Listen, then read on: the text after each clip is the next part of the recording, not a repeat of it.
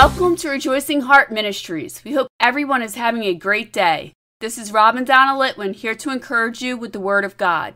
Today we have a teaching about multiplying grace and peace in your life. Our reading is from Peter's second letter, chapter 1, verse 2.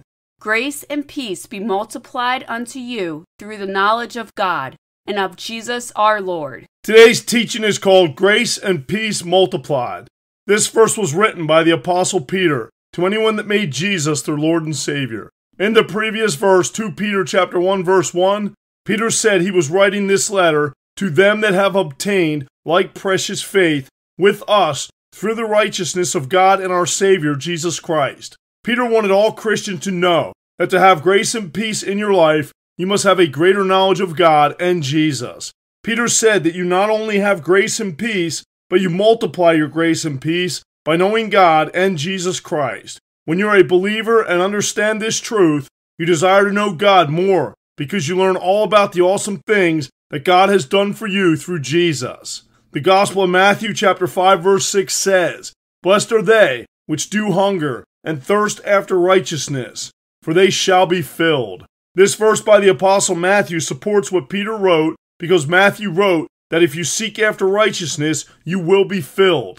Seeking after righteousness is seeking God through Jesus Christ. This is the only way you can seek righteousness because you do not have the ability to do it on your own. Matthew wrote a chapter later that doing this will provide you with all your needs met. Matthew chapter 6 verse 33 says, "But seek ye first the kingdom of God and his righteousness, and all these things shall be added unto you." Here you see that you can seek God and his righteousness and he will provide what you need. This provision is one example where you find grace and peace through the knowledge of Jesus Christ. The more you know Jesus, the more you have peace, because Isaiah wrote in Isaiah chapter 9, verse 6, that Jesus is the Prince of Peace. Knowing this, that Jesus is the Prince of Peace, seeking Him should be a priority for you in your life. When you have Jesus, you have peace, but without Him, you will not have peace. The Apostle Paul wrote it this way in his letter to the Philippians, chapter 4, verse 7. And the peace of God, which passes all understanding, shall keep your hearts and minds through Christ Jesus. Paul confirms that peace comes through keeping your heart and mind on Jesus. You do this by meditating on His Word and trusting Him in all circumstances, no matter what it looks like in the moment. Now, you know that perfect peace comes through Jesus, but you must know that grace comes through Jesus too.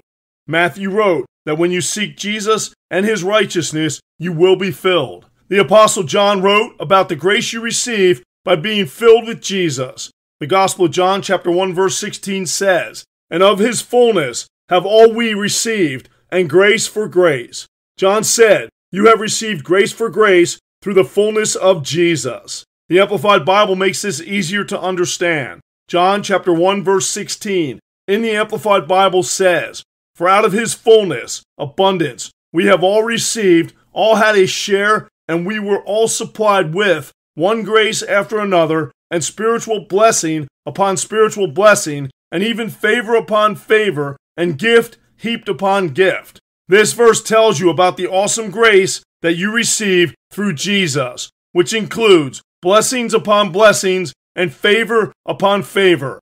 The Apostle Paul spoke of the blessings you have through Jesus in his letter to the Ephesians, chapter 1, verse 3, which says, Blessed be the God and Father of our Lord Jesus Christ, who has blessed us with all spiritual blessings in heavenly places in Christ. Paul said that through Jesus you have received all spiritual blessings in heavenly places. This is an amazing statement because you receive all of this right here, right now. That means anything you know is in heaven, you have right here, right now. This is a great reason to have perfect peace, knowing that you have this grace of heavenly blessings over you right now in your life. Now, knowing all this, you should have an even stronger desire to learn more about God. Here is the place you can start learning about God. John's first letter, chapter 4, verse 8 says that God is love. Knowing first and foremost that God is love is where you want to start knowing who He is. That means that everything that God does is from a place of love, which means He can only do good things. This truth is written in the letter of James, chapter 1, verse 17. Every good gift and every perfect gift is from above and comes down from the Father of lights, with whom is no variableness, neither shadow of turning. This says that God is good only. When you know this truth about God, you immediately multiply your grace and peace because you know first that God, because He is love, did not and will not cause you to have problems in your life. Plus, you learn that He will take care of you in that situation every time. That is comforting, or the grace and peace that you can only find through Jesus. In closing, we leave you with one last verse that should help you believe for multiplication of your grace and peace, because you are learning about God and know Him better. In Paul's letter to the Galatians, chapter 5, verse 6, it says that faith works by love. This is telling you that faith works by love and God is love, which tells you that your faith works through how much you know God's love. When you know how much God loves you, you can believe for anything and receive it because your knowledge of God automatically multiplies your grace and peace. When you know God's love, you have a peace through your faith, knowing that God provides you the grace for every need that arises in your life. Remember, this is dependent on your knowledge of Him. Start today. Seek Jesus to know His love, to see multiplication of grace and peace in every area of your life. Amen.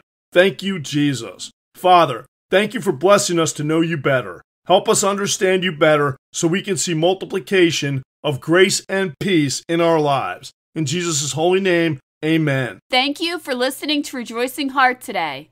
If this teaching has blessed you, please consider becoming a monthly partner to help us increase the ways we are proclaiming the Word of God. This is easy to do. Just visit our website at rejoicingheart.net. We thank you for your support.